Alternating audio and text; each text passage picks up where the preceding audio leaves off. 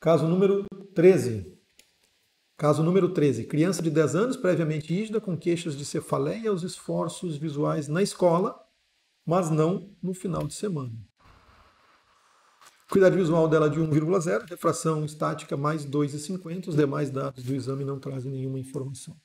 Qual é a conduta a ter aqui? Prescreve ou não prescreve?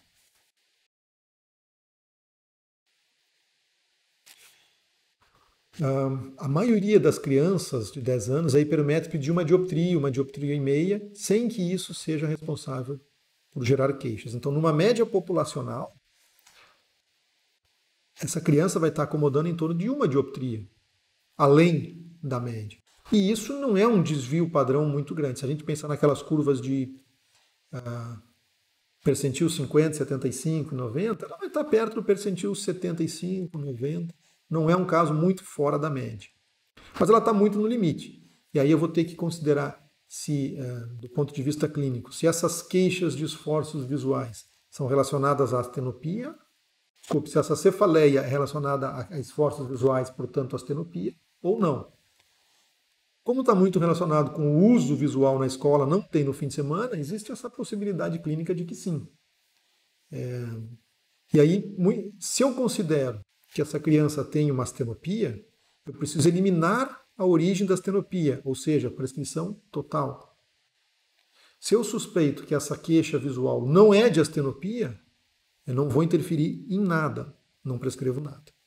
O maior erro aqui que os colegas têm quando encontram um caso assim é: eu estou um pouco na dúvida, eu acho um pouco que pode ser astenopia, mas também acho que pode não ser.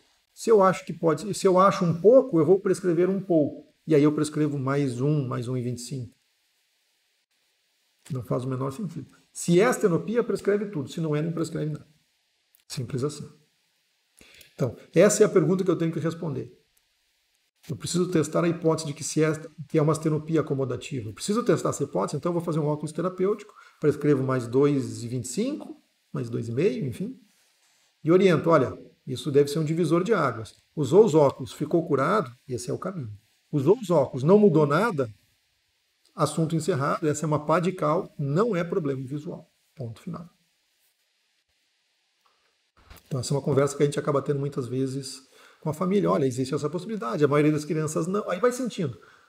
A maioria das crianças não, o teu filho parece que tem outras queixas também. Vamos botar os olhos no fim da fila, tenta achar outros motivos.